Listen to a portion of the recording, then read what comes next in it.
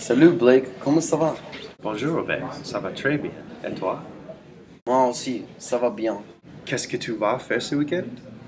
Euh, je voudrais prendre le crémaillère chez moi ce samedi et je pense qu'il vaut mieux si tu m'aides, si tu veux. Euh, tu peux venir aussi si tu as envie. Bien sûr Robert, je veux y aller. J'aimerais t'aider aussi. Euh, Qu'est-ce que tu en as besoin? Hmm, je ne sais pas quoi faire pour le dîner. Hmm, est-ce, que je- est-ce que tu peux me donner des conseils? Euh, D'abord, euh, qui est-ce que tu vas y inviter? Mes nouveaux voisins et quelques amis, tous sont jeunes. Ah, alors, euh, tu devrais les cuisiner du poulet, euh, des pommes de terre et des autres légumes. Ah, c'est une bonne idée, mais combien est-ce que je dois en acheter? Combien de personnes vont y aller? Euh, Environ 6 personnes vont venir.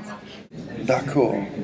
Il faut que tu achètes assez de tout, euh, probablement euh, pommes de terre pour chaque personne, un grand sac de légumes et 3 kilos de poulet. Ah, génial, je suis d'accord avec toi. Mais euh, je ne suis pas certain euh, que je dois leur acheter des cadeaux. Qu'est-ce que tu crois qui est mieux? Je crois qu'il est bon que tu en leur donnes, euh, mais où vas-tu pour acheter l'épicerie? Je ne sais pas. Mais je crois que HEB serait le mieux.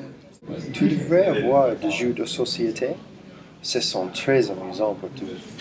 Oui, mais je n'en ai pas, malheureusement. Euh, mais toi, est-ce que tu en as? Pas de problème.